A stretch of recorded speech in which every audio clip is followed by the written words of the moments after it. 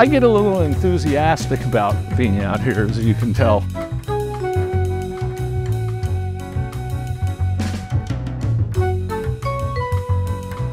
So this was one of my favorite views in the world.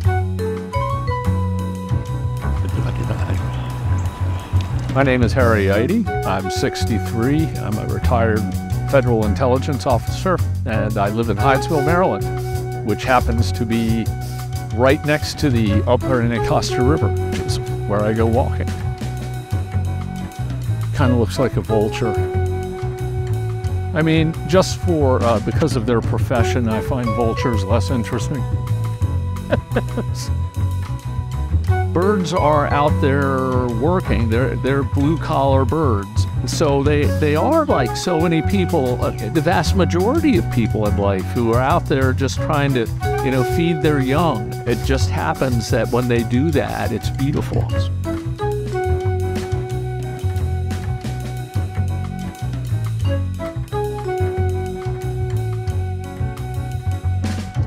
Obviously, there are different types of people. There are people who want to interact with the world around them and people who just don't want to interact with the world around them.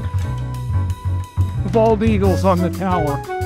Both choices are fine, but I think they miss out on an awful lot. Or there a bald eagle on the tower?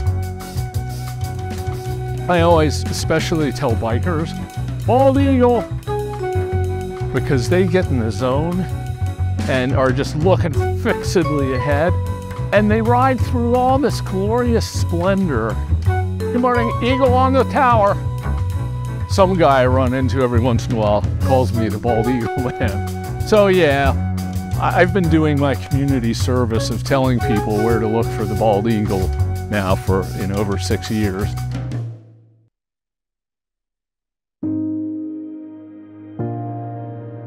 I like the Indian tradition of animal spirit guides. And uh, they teach that animals that you see often may well be your animal spirit guide. So I like to think of the eagles that way.